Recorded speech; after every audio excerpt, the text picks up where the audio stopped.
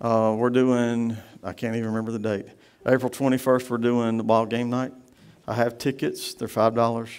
Um, and a lot of that, the $5 is going back into giveaways. Um, we're going to do, put together all the other pieces and just really from the church. So if you want to take some tickets, um, I just need to know who's got what so that we can try to understand how many are coming. The other piece is on Wednesday nights at 6:30 here, because um, we're launching in a new series called Draw the Circle. Uh, for the next five weeks, we're going to have a Bible study that'll go along with it. If you want to be a part of that, it's video driven. I'm going to be leading it here. Uh, there are also I got to remember the times now 10 o'clock Wednesday morning at Bypass Campus. And is it Tuesday or Thursday? Thursday at 4 at our River Street campus. Um, and Steve's doing the Wednesday morning, Andrew's doing the Thursday afternoon. So each pastor's taking a group, and each pastor's taking a campus that we're going to be hanging out at and doing that. So if you want to be a part of that, uh, we'll have some books, and it'll help us just progress through that. Now, let me just tell you part of this story or, or this book. Uh, this is the book that this series is based off of, The Circle Maker. Um, is prominent for Kay and I. And uh, probably even made it even more so for me. Kay was reading this prior to us coming to St. Mark. Uh, we, our prayer had been to be back into full time ministry. And so I'm going to share parts of the bits and stories from this um, as to how God was moving us. And um, earlier this week, I did not, I did not know this existed. Uh, Kay pulled out her prayer journal uh, from this. And so I knew some of how, how this impacted us, and then she shared with me her prayer journal um, about it. So there's a lot for me in this, and I told somebody earlier. I said I can not sure that I can unpack all of it at one time. A because I don't know the emotional side of me can do that. Because we weren't in a great. We were. We knew we were called. We knew what we what we wanted to see happen in our lives, and so uh, seeing that fulfilled is interesting, and how you learn to pray uh, through some of those pieces. So this is a lot about prayer uh, and how we talk. It's interesting, we talked the last two weeks about communicating with other people, very particularly uh, with our spouses and those major relationships. And now we're going to go to the piece that is vital for us to communicate with God, of how that is played out and how that looks out. So we're still doing communication, it's just communicating with God. There was a gentleman during what would be called the intertestamental period, between the, where the Old Testament ends and where the New Testament begins. His name is Honi. He was a preacher or a priest in the Jewish temple. And Israel was experiencing this great drought. And we know today water has always been precious. We talk, I've talked about it a lot. That what is Israel? It is a dry, rocky place. Water is vital to them. When they, it's the reason they named wells, that's why they fought over wells. That's why those wells are still named.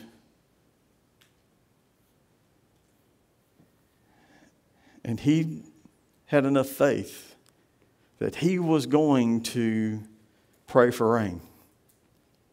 He went and drew a circle out in the desert and started to pray. And the people started to celebrate because it started to sprinkle. And as he was praying, he goes, God, I didn't pray for a light rain. God, I prayed for you for rain to fill this land and nourish it. And the story goes that the drops got like as big as eggs falling out of the sky. I do not want to get hit by one of those. They literally had so much rain that it were flash floods in the area. And he continued to just pray. Many times we don't have enough faith to pray hard things and big things.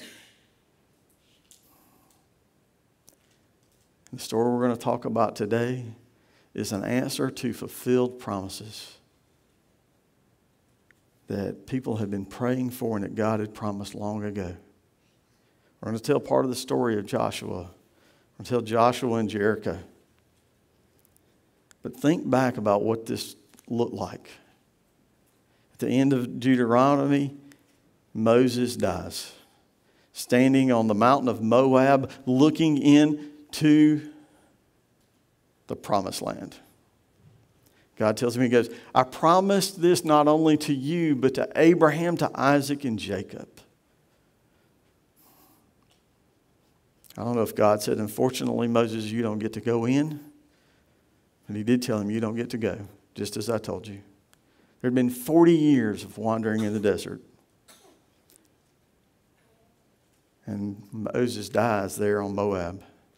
Joshua becomes, I can't imagine what this had to be like is now the leader of Israel.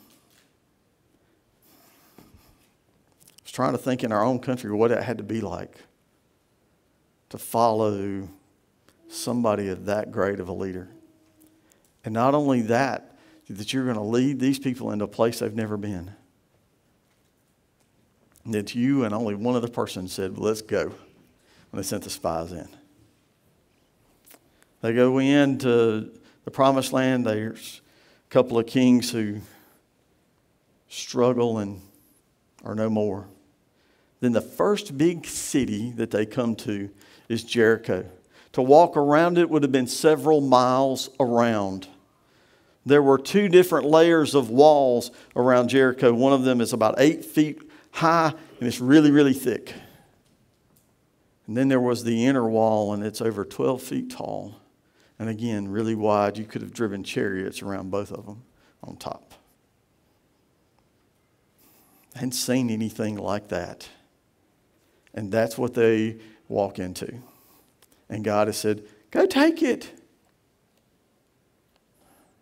I don't know about you, but at that moment, I would have started to pray. So listen at how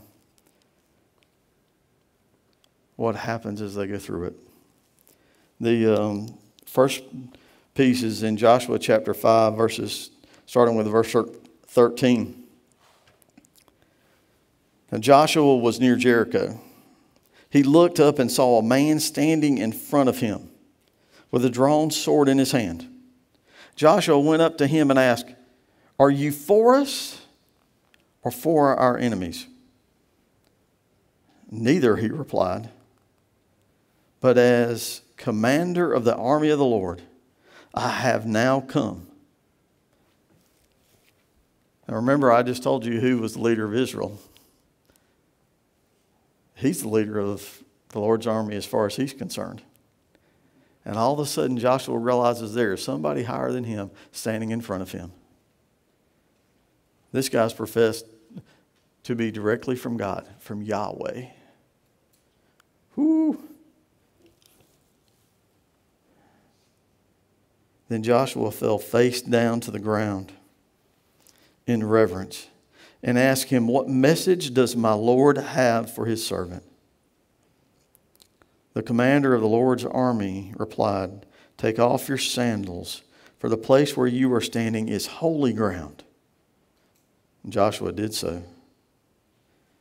And now the gates of Jericho were securely barred because of the Israelites. No one went out and no one came in. Then the Lord said to Joshua, See, I have delivered Jericho into your hands, along with its kings and its fighting men. Now, I don't know about you. Now, I, I get and I grasp calling. But if I was Joshua at this moment, I'm like, You delivered it to me. It's still there, and they're all inside. they may outnumber us. I'm not sure it's delivered yet, God. I don't know about you, but I'd have been scared. And I don't get scared easy.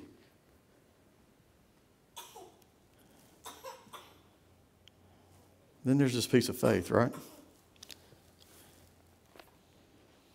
And then the angel of the Lord starts to lay out a plan. And we know this plan, we've heard this plan. Then the Lord's said, I've delivered Jericho into your hands, the king and all of its men. That's verse 2. Verse 3 says, March around the city with all our men. Do this for six days. Have seven priests carry the trumpets and the rams and horns in front of the ark.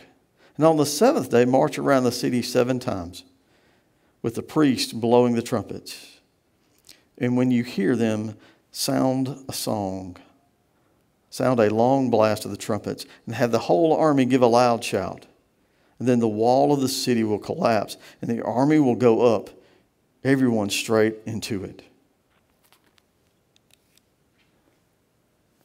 Doesn't tell us that the men, as they start this in the next verses, they st- tells us that they encamp around it, and for six days, one lap of peace. I don't know. I'd have been scared because they're just marching in silence. There were arrowmen, there were spearmen, there was every part of that army of Jericho watching. Wonder what in the world are they doing? Everything says cut off the water and do all of these things, bring out the battering rams, and they're just marching around, not saying a thing. I would have struggled because it told them to march in silence, by the way. Some of you know me well enough to laugh at that. It's okay. One of these points you're going to love. I would have been in prayer. This would have been a time where God has laid something in front of you that's bigger than anything you can imagine. This is one of those moments we typically are glad to run to prayer. And listen at 15 and 17 and then verse 21. Hold on, I gotta move my note. It's over here covering up my scriptures. Then on the seventh day, they've walked around for six times. That's what happens between verse 6 and 15. And on the seventh day, they got, got up at daybreak and marched around the city seven times in the same manner, except that on the, that day they circled the city seven times. The seventh time around, when the priest sounded the trumpet blast, Joshua commanded the army to shout, For the Lord has given you the city, and the city and all that is in it are to be destroyed, are to be devoted to the Lord. Only Rahab and the prostitute and all who were with her in her house shall be spared, because she had hid the spies. all of a sudden, when that happens, the walls crumble, and over a 100,000 strong march into Jericho. What do you think of when you hear that story? What is it that comes to mind? I'm like, how does that happen? God. I'm like, would I have had enough faith to just march around? Or would I have been trying to put, I'd been my own sensibility. And Joshua was a great warrior.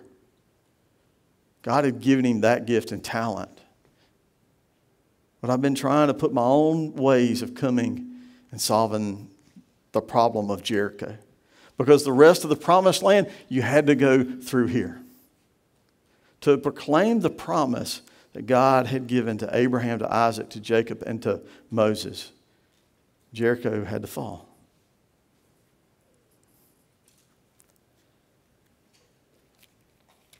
I don't know that I see something quite as Jericho, but there are things that I know that my life can't grow from unless they fall away. They stand between me and what I'm doing. When's the first time you, what happens when something goes wrong? What's your first reaction? Whose fault? For me, one of the things that happens, this is one of the even when we don't pray, it's like, who I got to get on my knees now. I'm like, we should have been on our knees sooner. we have to learn. If you're doing fill in the blanks, we have to learn what to circle. We have to learn what it means to have something circled in prayer, to draw. Most of y'all, have any of y'all ever been to a Wednesday night prayer meeting? In the Baptist church, they had them all the time, or at least most of them did. It sounds like a body part swap prayer list. Pray for Aunt Ethel's knees, somebody's liver, and uh, just on and on it goes.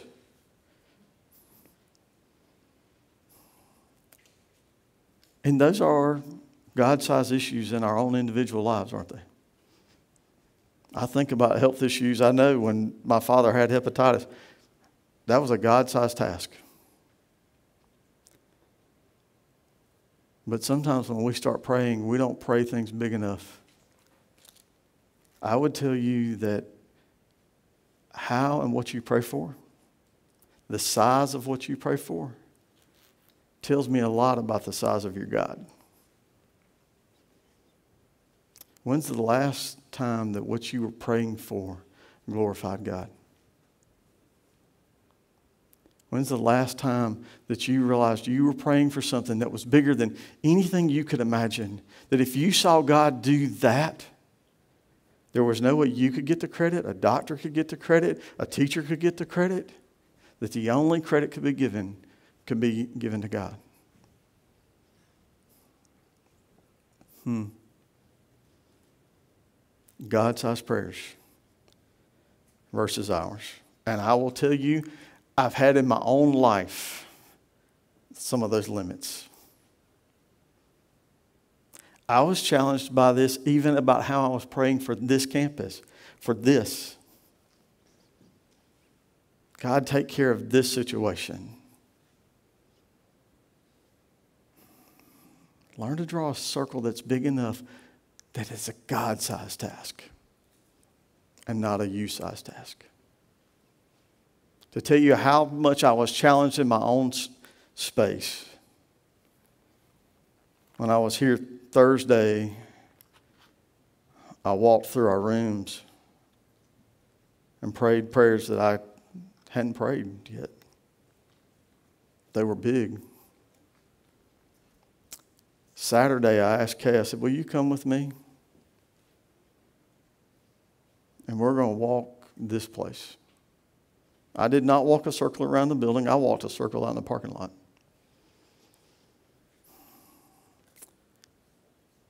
And if God answers all of those prayers, there will be nothing that any of us can say other than look what God did. I was determined and determined to continue to pray that set of prayers over this place.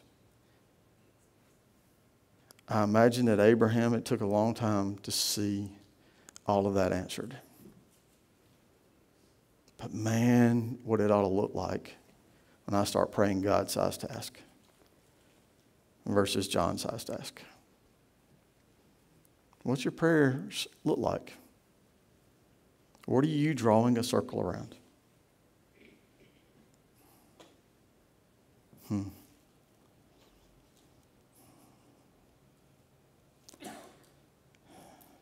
This is the piece about us communicating. When you start drawing that circle, it's about learning to talk in circles. And y'all go, John, you do that great. Yes. But it's learning about with that circle, and, it, and if that's what you need, you need a literal circle. Honi drew a circle in the dirt. Take a piece of rope, a piece of chalk, or understand the circle that you have. Because at that moment, it's about you and God talking to each other. In the movie Fireproof, they says go get in your closet. Find a place so that you can understand that you can talk to God. Because Learning to pray in circles means that I'm going to learn to talk to Him. when I was reading the book, Kay and I had been on a journey.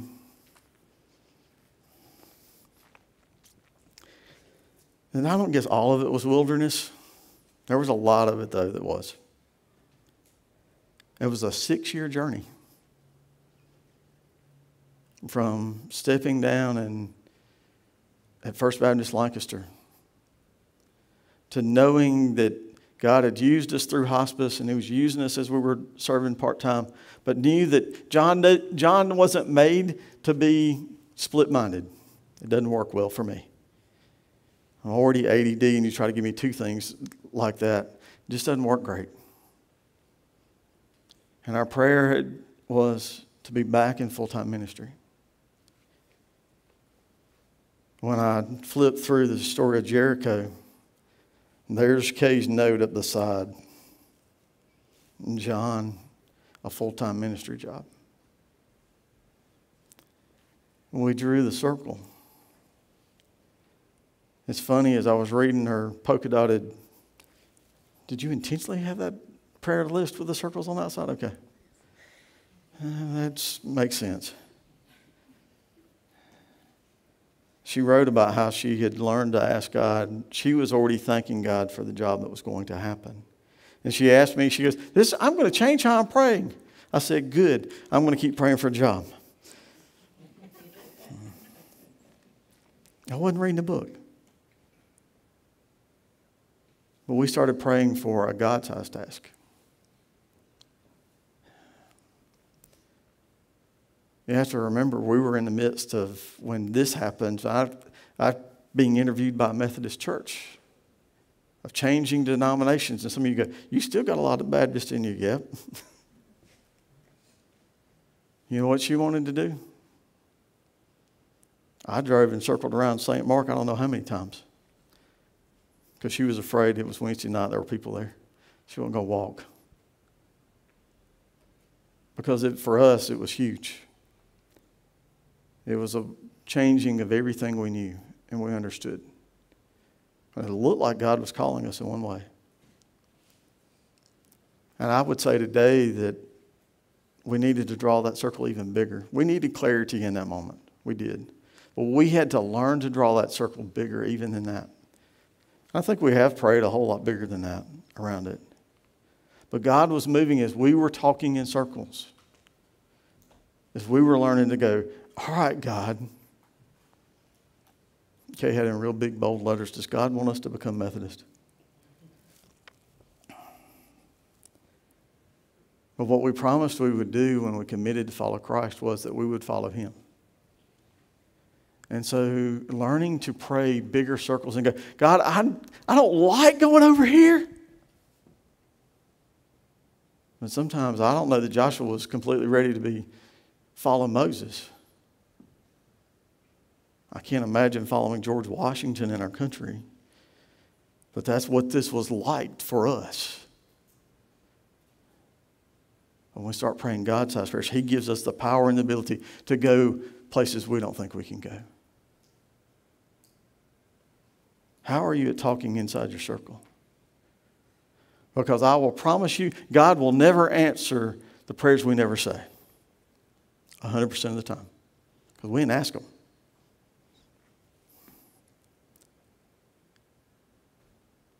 But what will it do when we start putting ourselves in front of Him consistently and praying and talking to Him?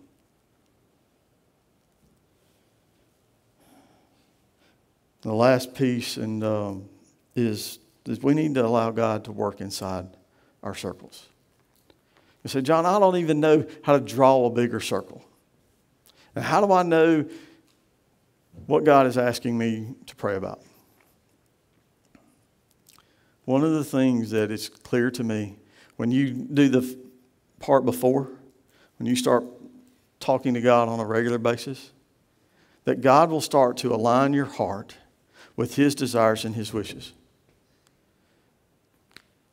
Because when you allow God to work on, the, on you in that time, He will aim you to God sized task in that ability. You got to allow God to work on your heart when you're praying.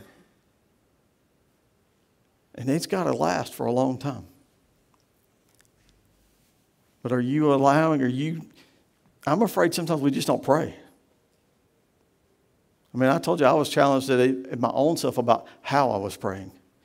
But I'm afraid we just don't pray. We don't take the time. But over the next 40 days, we're going to encourage you to pray and to write down and to keep a record of what you're praying for. The, um, at our house, we've used a jar where we, it's a praise jar. We do it so that you, you put in where God answered prayers.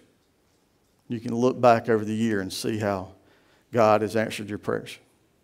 One of the most things that I was most moved by in my life is um, tell you how long ago this has been. I could go into a Winn Dixie there in Simpsonville. And I ran into, I don't know, I wondered if he slept, Mr. Maynard slept at Winn Dixie. Because every time I was there, I would see him. And he didn't live far from the Winn Dixie. But he had a little notebook and about like this, and that's why they're, matter of fact, they're at Olive campus today. And Mr. Maynard would look at me. I remember him first doing this to my father. And he would be talking to my dad, and both of them liked to talk. And I was like, I understand how my kids feel. I'm like, are they ever going to end? You know, my ice cream's melting up here. I got butter pecan. But I remember Mr. Maynard asking my dad, How can I pray for you? And as I got a little older and Kay and I are married, I would run into Mr. Maynard there in Winn Dixie and he'd pull out that little notebook. You know, I do not know how he did this. He would remember the last time he had seen me and what I had asked him to pray about. I probably do know because he'd been praying over it. He would ask me, and sometimes I would tell him, God answered this prayer, and he'd get his little pen out and he would mark that one off. And he goes, What else can I add to my prayer list, John? When Mr. Maynard died, I would have loved to have seen the inside of the house because I bet there were his kids were going, What are all well, they knew what the notebooks were. How many there had to be?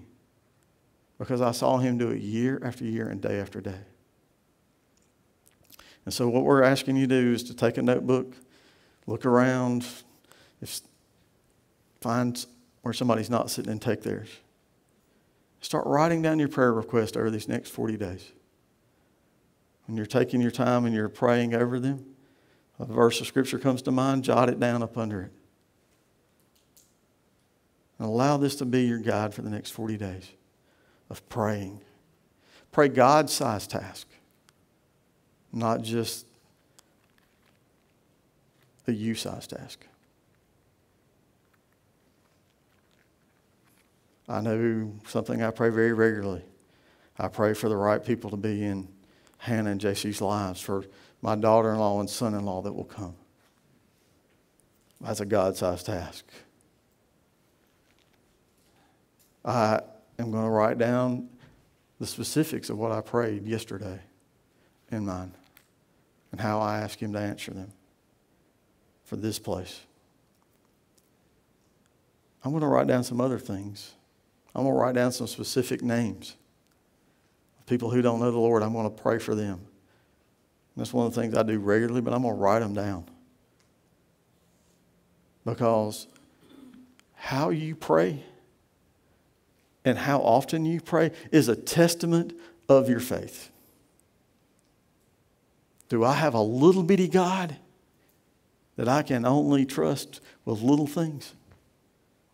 Or do I have, truly have a God that's big enough to save me for eternity? Because if He can do that, He can handle any prayer you can give Him. You pray in a little bitty task, you pray in God sized task. Hmm. How you pray and when you pray, and I would say what you pray, is a testament of your faith in the God creator, savior, and he who comes is a resurrection and a life.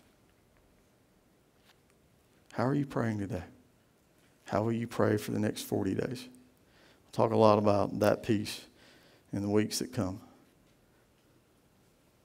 I'm going to pray for you, challenge you to pick up and start praying for 40 days. Um, take our offering. If you're visiting with us, all we ask is that you put your connection card in the plate. Uh, we're glad you're here. If you're, this is your place you call home, you worship, we do expect you to give. That's part of how we are as disciples. Let me pray for you. Dear Heavenly Father, Lord, I thank you for challenging me to pray bigger this week and for the days that lie ahead. Lord, I thank you that you could see and fulfill the promises of Joshua through Jericho and to walk into the promised land. Lord, may we be praying God sized prayers. And Lord, may your spirit move as we find ourselves on our knees. Father, I thank you that we can come to you and call on you because you never grow weary and you do hear us. Thank you, Father, for your Son, Jesus. Amen.